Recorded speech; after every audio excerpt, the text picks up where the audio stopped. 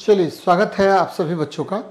और बच्चा लोग, आज के जो क्लास है, इसमें विक्रम कुमार जी, प्रणाम प्रणाम प्रणाम प्रणाम प्रणाम, बहुत सारा प्रणाम भेजे हैं विक्रम कुमार जी। स्वागत है बेटा।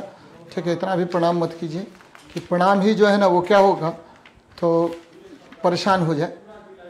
इतना भी प्रणाम नहीं करना चाहिए सामने वाले को। तो हम लोग आज चल रहे हैं छियालीस नंबर सेट। ऐसे कल मैंने सैंतालीस नंबर सेट पढ़ाया था बच्चे, लेकिन ये बीच में एक छूटा हुआ था तो आज उसको कर लेते हैं हम लोग। देखिए क्या है क्वेश्चन। कारण निम्न में से कौन सा एक जोड़ नहीं है बच्चे? तो आपको पता है टखना भी जोड़ है है ना? टखना भी जोड़ है, ठीक है? पटेला होता है, कोहनी भी एक जोड़ है, और बच्चे घुटना भी एक जोड़ है है ना? टखना, कोहनी, घुटना सब जोड़ है, लेकिन गर्दन आपको जोड़ नहीं है। ठीक है ना बच्चे? गर्दन। गर्दन आपका जोड़ नहीं है। बच्चा एकदम याद रखे, गर्दन सिर को बाहर से जोड़ता है। गर्दन क्या करता है? सिर को बाहर से जोड़ता है। हाँ ना? गर्दन में पाए जाने वाली पेशियों के कारण यह सीधा खड़ा रहता है और तथा घूमने की भी क्षमता इसमें पाई जाती है। ध्यान में रखना बच्चा, गर्दन में क्या पाई जाती है? तो कुछ पेशियाँ पाई जाती हैं, जो इसे खड़ा होने में क्या करता है? सहायता करता है। पेशियाँ पाई जाती हैं। ध्यान में रखिएगा। ठीक है, आपको।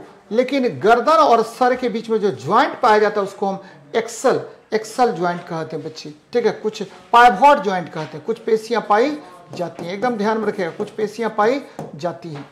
और मैंने क्या कहा कि गर्दन और गर्दन और सिर एक दूसरे से जुड़ा हुआ रहता है, जिसको हम पाइवॉट ज्वाइंट कहते हैं। पाइवॉट ज्वाइंट द्वारा याद रखना पाइवॉट ज्वाइंट द्वारा आपको, ठीक है, खुट्टी जोड़ कहते हैं बच्चे, खुट्टी जोड़। पाइवॉट ज्वाइंट पाइवॉट ज्वाइंट, ठीक है, द्वारा आपको गर्दन जो है बच्चे, सिर जो है, सिर सिर जो है, सिर, ठीक है, आपको गर्दन से जुड़ा रहता है। सिर आपको गर्दन से जुड़ा होता है। एकदम याद रखिए, कौन सा ज्वाइंट? तो पाइवॉट ज्वाइंट के द्वारा। सिर गर्दन से जुड़ा रहता है। बहुत अच्छी बात है। ये याद रखना बच्चा, जुड़ा रहता है।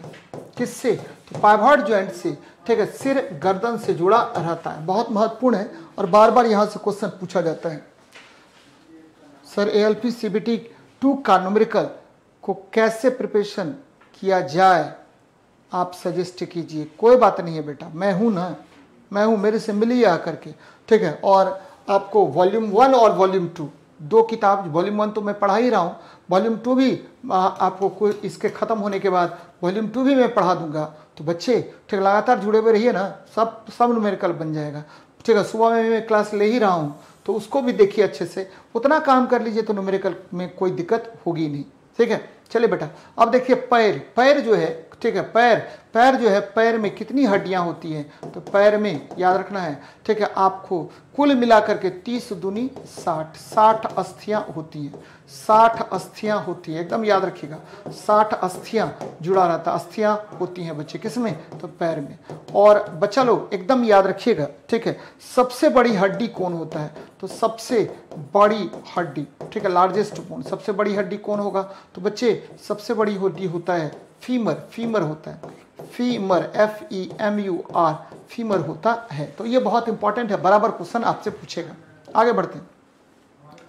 किस प्राकृतिक घटना में अस्थितिक विद्युत शामिल होता है बच्चे? तो बच्चे, ठीक है, तड़ित में, तड़ित तड़ित जो है, तड़ित तड़ित तड़ित मतलब होता है लाइटनिंग लाइटनिंग बच्चे। लाइटनिंग में स्थिर विद्युत शामिल होता है। लाइटनिंग में लाइटनिंग में क्या होगा? तो स्थिर विद्युत शामिल होता है। लाइटनिंग में स्थिर विद्युत शामिल होता है। एकदम याद रखिएगा, स्थिर विद्युत क्या होगा? तो शामिल होता है। बहुत महत्वपूर्ण है बच्चे शामिल होता है। कौन सा विद्युत? तो स्थिर विद्युत शामिल होता है। बहुत महत्वपूर्ण है। ये बराबर आपसे क्वेश्चन पूछेगा, कौन सा विद्युत यहाँ शामिल होगा? तो स्थिर विद्युत शामिल होता है। और बच्चे, आपको पता होगा कि आवेशित बादल जब गिरता है पृथ्वी पर तो उसे हम तड़ित कहते हैं। आवेशित बादल हम्म बादल जब पृथ्वी पर गिरते हैं तो कहा जाता है। बादल जब पृथ्वी पर गिरता है, एकदम याद रखिएगा, जब पृथ्वी पर गिरता है तो इसे तड़ित कहा जाता है। पृथ्वी पर गिरता है तो गिरता है तो इसे तड़ित कहते हैं। तो इसे याद रखिए बच्चा, तड़ित कहा जाता है, तड़ित कहते हैं, है ना? तड़ित कहते हैं। महत्वपूर्ण है, बराबर आपसे क्वेश्चन यहाँ पर पूछेगा। तड़ित तड़ित कहा जाता है बच्चे तो ये याद रखनी चाहिए, ठीक है? तड़ित कहा जाता है। और वर्षा क्या होता है? तो जब जब जलवाष्प आपको संघनित होकर पृथ्वी पर गिरता है तो उसे हम वर्षा कहते हैं। ठीक है बबंडर या आप कहीं चक्रवात कह सकते हैं बच्चे। चक्रवात क्या होगा? तो जब दाब जो है, आंतरिक दाब निम्न हो जाएगा, आंतरिक दाब निम्न, और वाह दाब क्या होगा? अधिक होगा। तो वायु की गति बाहर से अंदर की तरफ़ होती है और इसे ही हम क्या कहते हैं? चक्रवात कहते हैं बच्चे। तो ये ध्यान में रखनी चाहिए आपको। ठीक है? बच्चे, तड़ित चालक का निर्माण किसके द्वारा किया जाता है? तो तड़ित चालक का निर्माण, एकदम याद रखिएगा। तड़ित चालक का निर्माण किसके द्वारा करते हैं? तो तड़ित चालक का निर्माण आपको, ठीक है? तड़ित चालक का निर्माण हम लोग किसके द्वारा करते हैं बच्चे? तो एकदम ध्यान में रखिएगा कि तड़ित चालक का निर्माण किसके द्वारा किया जाता है? तो बच्चा लोग एकदम याद रखिएगा, तड़ित चालक का निर्माण करते हैं। ठीक है, फिर से मैं रिपीट कर रहा हूँ, तड़ित चालक का निर्माण आपको कॉपर के द्वारा किया जाता है कॉपर के द्वारा करते हैं। कॉपर के द्वारा किया जाता है। बहुत महत्वपूर्ण है बच्चे कॉपर के द्वारा किया जाता है। किसका? तो तड़ित चालक का निर्माण किया जाता है कॉपर के द्वारा किया जाता है। ध्यान में रखिएगा। देखिए कॉपर के द्वारा करते हैं। ठीक है? और तड़ित चालक जितना पतला होगा, जितना उसका, ठीक है रेडियस कम होगा बच्चे, उतना ही ज़्यादा वह क्या करेगा? आवेश को अपनी ओर खींचने की क्षमता रखता है। तो ये ध्यान में रखिएगा। आगे देखते हैं।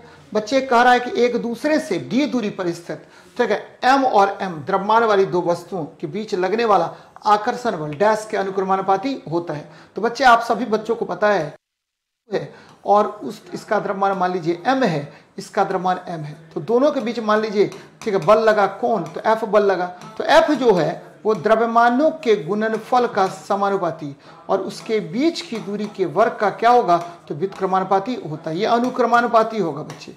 द्रव्यमानों के गुणनफल का अनुक्रमानुपाती होता है। और बच्चा लोग अनुक्रमानुपाती होता है। और दूरी के वर्ग का व्युतक्रमानुपाती, दूरी के वर्ग का, क्या होगा? तो दूरी के वर्ग का व्युत क्रमानुपाती होता है। एकदम याद रखें, व्युत क्रमानुपाती होता है। एकदम ध्यान में रखिए बच्चे। पाती होता है, व्युत क्रमानुपाती होता है। ये ध्यान में रखनी है। तो बच्चे, ये दोनों को मिला देंगे तो क्या बन जाएगा? तो ये गुरुत्वाकर्षण बल बन गया बच्चा। ठीक है, द्रव्यमान के कारण। तो एफ़ जी बराबर क्या होगा? जी एम एम बटे क्या? डी स्क्वायर होगा। जहाँ जी को क्या कहते हैं? तो जी है सर्वात्रिक गुरुत्वाकर्षण नियतांक। यूनिवर्सल ग्रेविटेशनल कांस्टेंट सर्वात्रिक गुरुत्वाकर्षण नियतांक होता है। एकदम याद रखिएगा।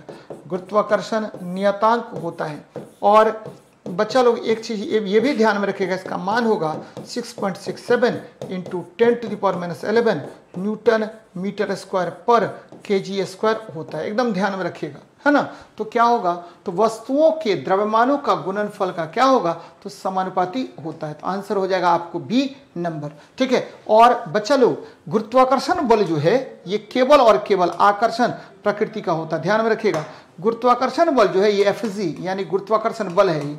और ये क्या होगा? तो ये आकर्षण प्रकृति का होता है। एकदम याद रखिएगा। गुरुत्वाकर्षण बल क्या होता है? तो भैया ये आपको आकर्षण प्रकृति का होता है। एकदम याद रखिएगा। आकर्षण प्रकृति का होता है। प्रकृति का होता है। प्रकृति का होता है। एक, पहली बात हो गई।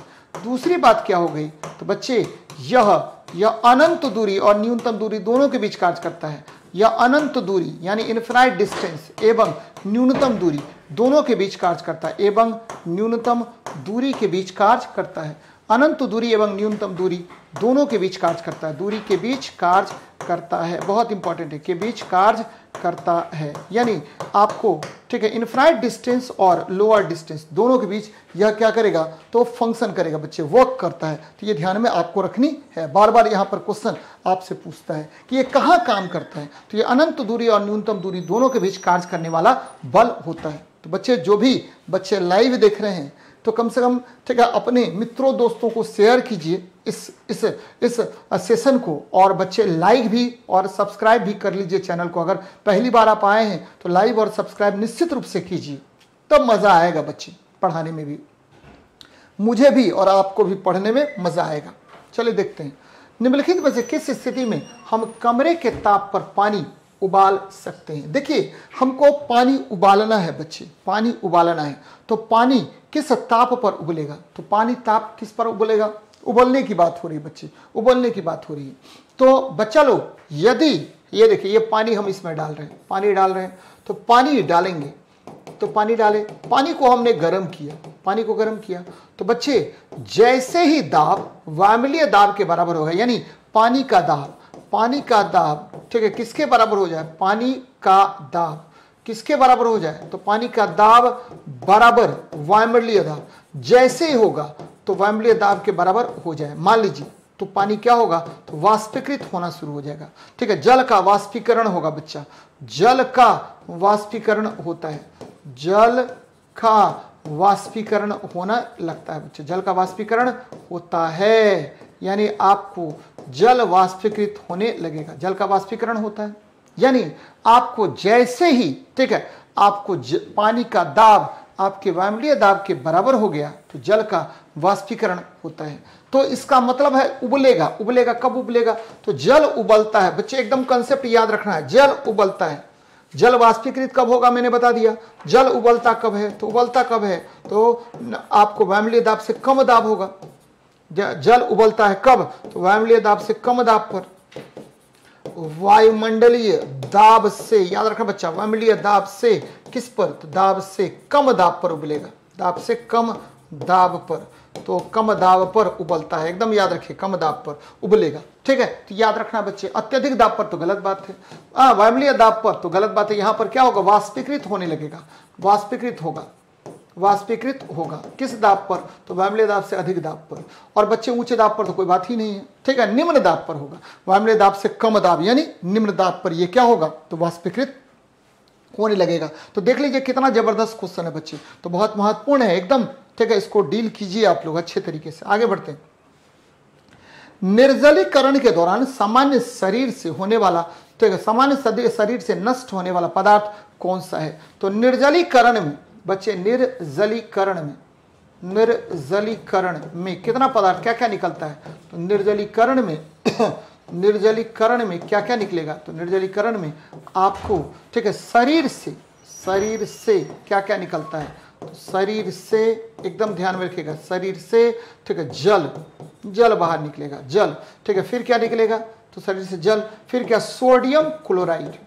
कुछ मात्रा में सरकरा भी बाहर निकलता है बच्चे सरकरा ठीक है सरकरा भी नष्ट होता है। ठीक है, कुछ मात्रा में सरकरा हटा है सरकरा नहीं करेगा। ठीक है तो जल और NaCl का ज़्यादा मात्रा में क्या होता है? निर्जलीकरण में बाहर निकलता है। शरीर से जल और NaCl अधिकतम मात्रा में बाहर निकलता है। अधिकतम मात्रा में क्षय होता है बच्चे। अधिकतम मात्रा में क्षय होता है। इसीलिए अधिकतम मात्रा में क्षय होगा। मात्रा में क्षय होता है। कौन कौन सा बच्चे? अधिकतम मात्रा में क्षय, है ना? तो ये ध्यान में रखनी है। और सोडियम क्लोराइड इसका आंसर हो जाएगा बच्चा, ध्यान में रखिएगा। ये अधिकतम मात्रा में क्षय होगा।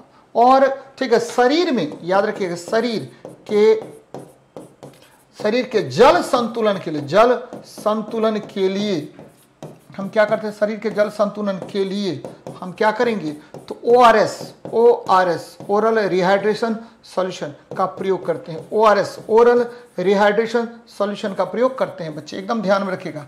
रिहाइड्रेशन सॉल्यूशन का उपयोग करते हैं।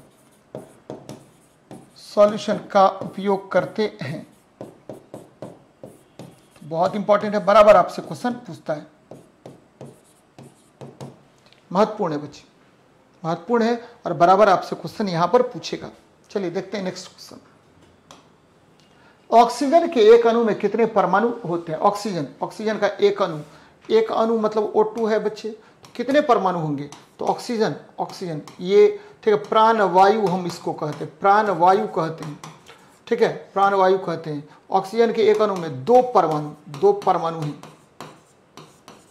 है ना? ऑक्सीजन के एक अणु में दो परमाणु हैं। ऑक्सीजन, ध्यान में रखिएगा कि ऑक्सीजन जैसे ही कहते हैं ऑक्सीजन के एक अणु में कितने परमाणु तो दो परमाणु होंगे। और बच्चा लोग, ठीक है, ऑक्सीजन की खोज, ऑक्सीजन की खोज किसने किया था? तो खोज सीले और पिस्टले ने किया था। सीले और पिस्टले ने किया था। ध्यान में रखिएगा, सीले और पिस्टले ने किया था। पिस्टले ने किया था। किसकी खोज? तो ऑक्सीजन की खोज सीले सीले और पिस्टले ने किया था। है ना? ऑक्सीजन किस वर्ग का तत्व है? तो ऑक्सीजन जो है बच्चे, सोलहवें वर्ग का तत्व है। यह सोलहवें वर्ग का तत्व है। सोलहवें वर्ग का तत्व है। सोलहवें वर्ग का तत्व है। किस वर्ग का? सोलहवें वर्ग का तत्व है। इसे चलकोजेंस ऑक्सीजन ऑक्सीजन चलकोजेन वर्ग में रखा जाता है। ऑक्सीजन, याद रखना बच्चा, ऑक्सीजन, ठीक है? उपचायक अणु है बच्चे। बहुत महत्वपूर्ण है। आगे देखते हैं। करा किस तत्व का अष्टक नियम लागू होता है? किस के, किस तत्व तक अष्टक नियम लागू होता है? देखिए अष्टक नियम न्यूलैंड ने दिया था। अष्टक नियम किसने दिया था? तो अष्टक नियम न्यूलैंड ने दिया था। न्यूलैंड ने दिया था। महत्वपूर्ण बच्चे न्यूलैंड ने दिया था। और अष्टक नियम ठीक है आपको अगर हम बात करें अष्टक नियम तो बच्चे ये अष्टक नियम में कहाँ तक लागू होता है? तो आपको पता होनी चाहिए कि यह नियम कैल्शियम तक या कैल्शियम तक लागू होता है। कैल्शियम तक लागू होता है और होता है, कैल्शियम तक लागू होता है। और इस नियम में अगर हम बात कर ले बच्चे तो प्रथम तत्व जो है हाइड्रोजन और अंतिम तत्व जो है थोरियम होता है। तो कहाँ तक लागू होगा? तो कैल्शियम तक यह नियम लागू होता है। तो महत्वपूर्ण बातें हैं और बार बार यहाँ से क्वेश्चन आप बच्चों को पूछता है बच्चे। ठीक है ना? तो ये ध्यान में रखिएगा। अच्छा कोबाल्ट, फेरस, कोबाल्ट और निकेल, फेरस, कोबाल्ट और निकेल। बच्चे, ये नवे वर्ग का तत्व है, नवे वर्ग का तत्व है, ठीक है? वर्ग का तत्व है। और इसकी परमाणु संख्या कितनी होती है? बच्चे, सताइस होता है। पोटेशियम, ये क्या हुआ? तो बच्चे, पोटेशियम, ये पोटेशियम उन्नीस होता है और ये क्षार धातु है और प्रथम वर्ग का तत्व है। क्षार धातु है और किस वर्ग का तत्व है? प्रथम वर्ग का तत्व है। तो ऑक्सीजन तो मैंने बताया ही तो बच्चे, ऑक्सीजन सोलहवें वर्ग का तत्व होता है। नेक्स्ट क्वेश्चन देखते हैं। कहा एक यौगिक का अनुसूत्र C2H6O है। यौगिक का नाम बताइए। तो यौगिक का नाम कुछ भी हो सकता है बच्चे। ठीक है C2H6O है है ना?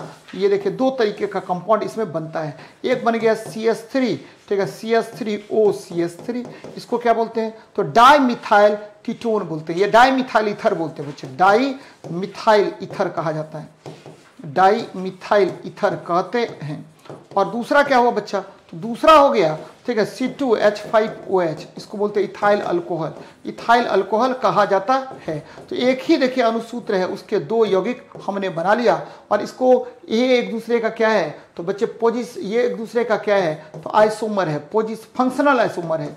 फंक्शनल आइसोमर है। अभिक्रियाशील समूह के भिन्न होने के कारण इसने आपको समावयव का निर्माण किया, जिसको हम फंक्शनल आइसोमर कहते हैं। तो आंसर क्या हो जाएगा? डायमिथाइल इथर और इथेनॉल याद रखिएगा इथेनॉल डायमिथाइल इथर या इथाइल अल्कोहल या इसी को इथाइल अल्कोहल को ही हम क्या कहते हैं? आयुपेक नाम क्या होगा इसका? इथेनॉल होता है बच्चे इथेनॉल होता है। एकदम ध्यान में रखिएगा इथेनॉल होता है। तो महत्वपूर्ण है। चलिए, अगला क्वेश्चन देखते हैं, क्या कह रहा है? अगला क्वेश्चन आपको, आइए, बच्चे किसी वस्तु को अनंत और किसी अवतल लेंस के ऑप्टिक सेंटर पर रखते हैं। अवतल लेंस बोल रहा है बच्चे, अवतल लेंस बोल रहा है, ठीक है?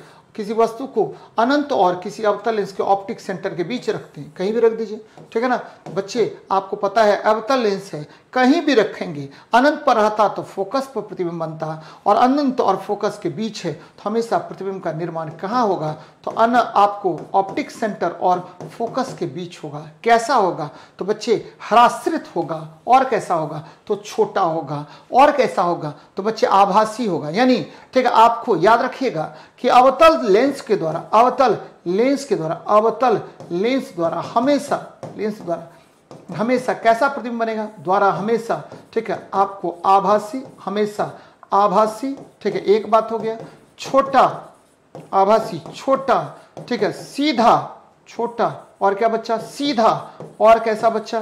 ठीक है तो आ, ओ एवं एफ़ के बीच प्रतिबिंब का निर्माण होता है ओ एवं किसके बीच बच्चे? ओ एवं एफ़ के बीच ठीक है प्रतिबिंब बनता है के बीच प्रति बिंब बनता है, एकदम ध्यान में रखिएगा प्रतिबिंब बनता है। किसके किसके बीच?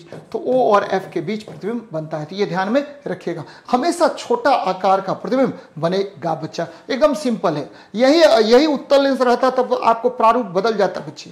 लेकिन अवतल लेंस अगर है तो अवतल लेंस में हमेशा कैसा प्रतिबिंब बनेगा? तो आभासी बनेगा, छोटा बनेगा, सीधा बनेगा और कहाँ बनेगा? तो अगर अनंत पर वस्तु रहता तो फोकस पर बनता। अनंत और प्रकाश केंद्र के बीच कहीं भी है तो कहाँ बनेगा? तो प्रकाश केंद्र और फोकस के बीच बनेगा। तो एकदम ध्यान में रखिएगा। तो ह्राश्रित, यानी छोटा हो जाएगा। आगे बढ़ते बेटा। निम्नलिखित में से कौन सा एक आँख का विकार है? गठिया। गठिया में क्या होगा? तो जोड़ों में यूरिक एसिड की मात्रा बढ़ जाती है। जोड़ों में यूरिक एसिड की मात्रा बढ़ जाती है। यूरिक एसिड बढ़ जाता है। बढ़ जाता है। बच्चे साइनस में क्या होता है? तो आपको कफ जम जाता है। कफ आपका क्या होगा? तो मस्तिष्क में जम जाता है, दिमाग में। ठीक है, कफ का जमना, कफ का जमना।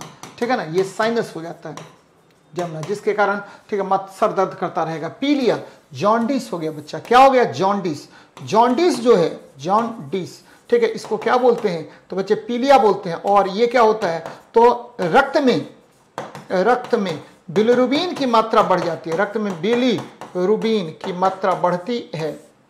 बिलरुबीन की मात्रा क्या होगी? बढ़ जाती है, जिसके कारण आपको क्या होगा? तो जॉन्डिस रोग हो जाता है। तो ये ध्यान में रखनी है। और निकट दृष्टि दोष बच्चे, निकट दृष्टि दोष कैसे होगा? तो निकट दृष्टि दोष यानी मायोपिया कहते हैं। मायोपिया इसे कहा जाता है। और इसमें क्या होगा? तो बच्चे, आपको ठीक है, ये नेत्रदोष है, इसमें निकट की वस्तु अच्छी, लेकिन दूर का खराब होता है। निकट की वस्तु क्या होगा? अच्छी।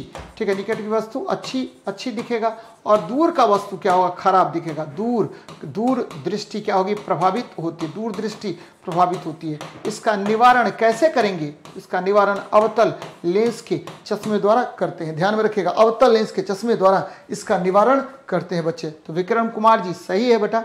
साइनस गड़बड़ है। तो निकट दृष्टि दोष आँख का विकार होगा, है ना? आगे देखते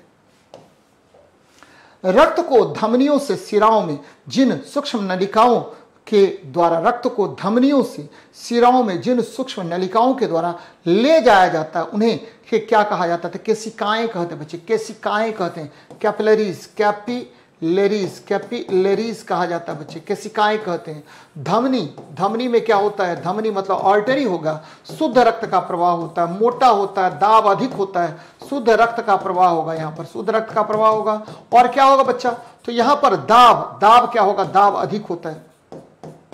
दाब अधिक होता है और बच्चे ठीक है मोटा होता है का, काफ़ी मोटा होगा मोटा मोटा होता है ठीक है ना? अब देखिए ठीक है सिरा क्या होगा? इसमें अशुद्ध रक्त का प्रवाह होता है सिरा में अशुद्ध रक्त का प्रवाह होता है और ठीक है इसमें दाब भी कम होगा अशुद्ध रक्त का प्रवाह होगा दाब कम होगा अशुद्ध रक्त का प्रवाह होगा यहाँ पर दाब कम होता है और बच्चा लोग दाब कम होगा ये पतला होगा पतला पतली होती है बच्चे पतली और दाब कम होता है दाब भी कम होगा तो एकदम ध्यान में रखनी चाहिए। आगे बढ़ते हैं। कर सार्वभौमिक सूचकों में चार से पाँच का पीएच मान क्या इंगित करता है? तो बच्चे, चार से पाँच अगर है तो ये क्या है? तो दुर्बल अम्ल है। देखिए, दुर्बल अम्ल कहाँ पर है? दुर्बल अम्ल। बच्चे, सार्व, सार्वभौमिक सूचकों, याद रखिए, सार्वभौमिक सूचक, ये क्या होता है? तो बच्चे, सार्वभौमिक सूचक, रंग द्वारा आपको प्रबल अम्ल, प्रबल क्षारक, निर्बल अम्ल, निर्बल क्षारक का पता लगाता है। सार्वभौमिक सूचक क्या बच्चे? तो रंग परिवर्तन द्वारा। किस परिवर्तन द्वारा? तो रंग परिवर्तन द्वारा। रंग परिवर्तन द्वारा परिवर्तन द्वारा। क्या करेगा? तो रंग परिवर्तन द्वारा। ठीक है, आपको हाँ प्रबल अम्ल, प्रबल प्रबल अम्ल, यानी आपका क्या हो गया? स्ट्रॉन्ग एसिड निर्बल अम्ल तो वीक एसिड निर्बल अम्ल। फिर क्या बच्चा? निर्बल अम्ल। फिर क्या? आपको प्रबल क्षारक, यानी स्ट्रॉन्ग एसिड प्रबल क्षारक और निर्बल क्षारक के विषय में जानकारी देता है। निर्बल क्षारक निर्बल क्षारक का पता लगाता है। क्षारक का पता लगाता है बच्चे, एकदम ध्यान में रखिएगा, पता लगाता है। किसके द्वारा? तो सार्वभौमिक सूचक के द्वारा। बच्चे, यदि यदि सार्वभौमिक सूचक में, ध्यान में रखना बच्चे, सार्वभौमिक सूचक में अगर क्या हो जाए तो बच्चे सार्वभौमिक सूचक में, ठीक है, ध्यान में रखिएगा। भी आई ठीक है वायलेट वायलेट और इंडिगो कलर होता है तो इसका मतलब है प्रबल क्षारक है, प्रबल क्षारक है। और उसी तरह से बढ़ते जाएँगे बच्चे, सार्वभौमिक सूचक में आपको, ठीक रंग में परिवर्तन द्वारा आप क्या पता कर सकते हैं? कौन प्रबल अम्ल है, कौन प्रबल क्षारक है, कौन निर्बल अम्ल है, कौन निर्बल क्षारक है, इसका पता कर सकते हैं। प्रबल क्षारक अगर है तो आपको पता है इसका पीएच मान ग्यारह से चौदह के बीच होगा। दुर्बल क्षारक है तो इसका क्षारक इसका मान क्या, कितना होगा? तो सात से ग्यारह के बीच होगा। अगर प्रबल अम्ल है तो इसका ज़ीरो से लेकर के चार के बीच में होता है। ठीक है पीएच मान बच्चे तो ये ध्यान में रखिएगा। आगे बढ़ते हैं।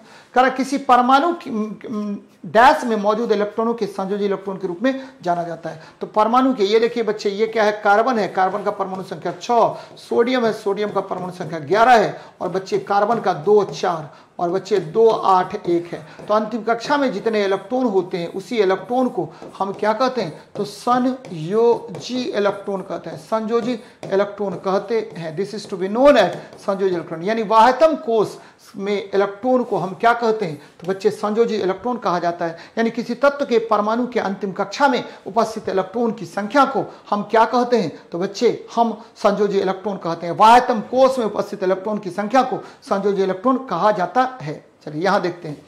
क्या कह रहा है क्वेश्चन में? क्वेश्चन में कह रहा है कि पृथ्वी के अंदर मौजूद गर्म चट्टानों के कारण भूमिगत जल जिसका उपयोग करके जनरेटर के टरबाइन से बिजली पैदा किया जाता है, क्या होगा बच्चे? तो यहाँ आपको जनरेटर के टरबाइन से कैसे बिजली प्राप्त करेंगे बच्चे? तो जनरेटर के टरबाइन से आपको पता है पृथ्वी के अंदर, पृथ्वी के अंदर क्या होता है? उच्च दाब पर, भाप में इसको हम बदलते हैं। यानी हाइयर प्रेशर पर हाइयर प्रेशर पर क्या होगा? तो हाइयर प्रेशर पर हम क्या करते हैं? तो बच्चे, ठीक है, आपको भूमिगत जल को, भूमिगत जल को हम बदल देते हैं। किसके द्वारा? तो बच्चे वाष्प में, भूमिगत जल वाष्प में परिवर्तित हो जाता है। वाष्प में बदल जाता है। एकदम ध्यान में रखिएगा, बदल जाता है। किसमें? तो भेपर में बदल जाता है।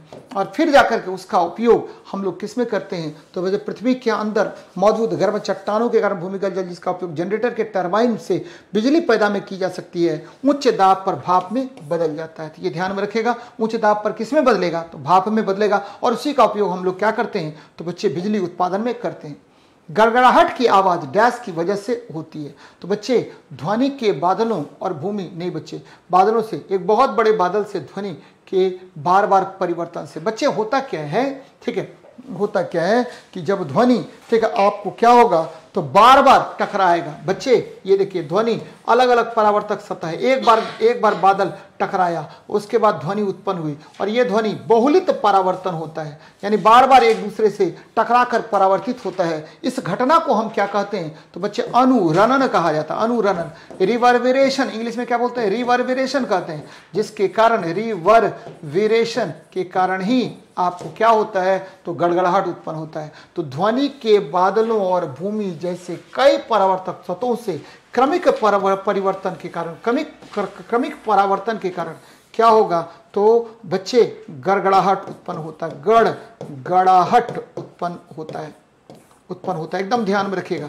गड़गड़ाहट उत्पन्न होता है। ये महत्वपूर्ण है। बराबर आपसे क्वेश्चन पूछेगा कि कैसे गड़गड़ाहट उत्पन्न होता है? तो बच्चे, जब ध्वनि के ध्वनि क्या होगा? बार बार परावर्तित होगा और वापस पुनः सुनाई देगा तो उसे ही उसे ही हम गड़गड़ाहट कहते हैं और ये अनुरणन के कारण होता है।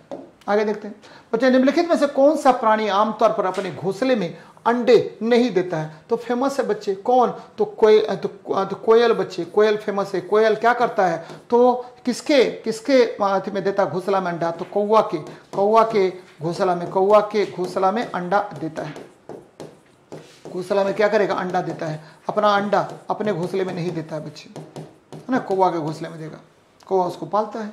चलिए, जब साइकिल में ब्रेक लगाया जाता है तो ब्रेक पैड पहिए को स्पर्श करता है। अब इनमें से क्या पहिए की गति को रोक देगा? तो बच्चे, घर्षण बल लगेगा। पहिए के पैड में क्या होगा? तो घर्षण बल लगता है, जिसके कारण पहिया क्या करता है? तो रुक जाता है बच्चे। तो याद रखना, घर्षण बल लगता है। तो यहाँ देखिए, कहाँ पर घर्षण बल है?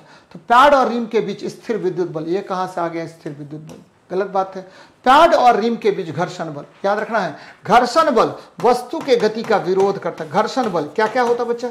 घर्षण बल, सबसे पहले असंरक्षी बल होगा।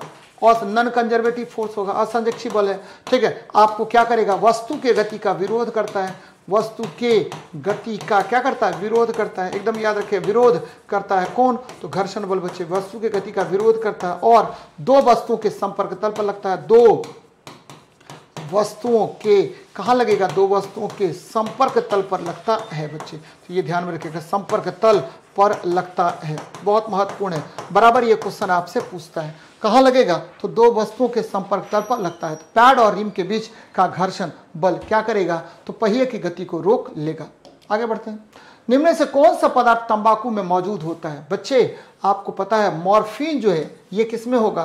तो पॉपी में होता, पॉपी में पॉपी में होता है या आपको क्या कह सकते हैं? तो हसीस गाजा, ये सब बोलते हैं तो उसमें मॉर्फिन पाया जाता है। बच्चे, ये क्या होता है? तो अति अति विषाददायक, अति विषाद, विषाददायक विषाददायक पदार्थ होता है। दायक पदार्थ है बच्चे तो ये ध्यान में रखिएगा। कैफीन, कॉफ़ी में पाया जाता है, कॉफ़ी में क्या होगा? तो कैफीन पाया जाएगा, निकोटीन, तंबाकू में पाया जाता है। तंबाकू में पाया जाता है। तो निकोटीन किसमें पाया जाएगा? तंबाकू में। तो ये ध्यान में रखिएगा। हसीस, गाजा गाजा गाजा को कहते हैं हसीस बच्चे। गाजा, ठीक है, आपको तंबाकू के साथ पिया जाता है बच्चे। तो ये ध्यान में रखिएगा। इकतीस मई को हम क्या कहते हैं? तंबाकू निवारण दिवस के रूप में मनाते हैं। इकतीस मई को, इकतीस मई को, ठीक है तो no tobacco day, no tobacco day कहा जाता है बच्चे। तंबाकू को मना करने वाला दिन कहा जाता है। No tobacco day. है ना? आगे देखिए। इस बात की खोज किसने की थी कि मच्छर मलेरिया फैलाता था? सर रोनाल्ड रोज ने किया था। मच्छर मलेरिया फैलाता। कौन सा मच्छर बच्चे? तो मादा एनोफिलीज, मच्छर, मादा एनोफिलीज।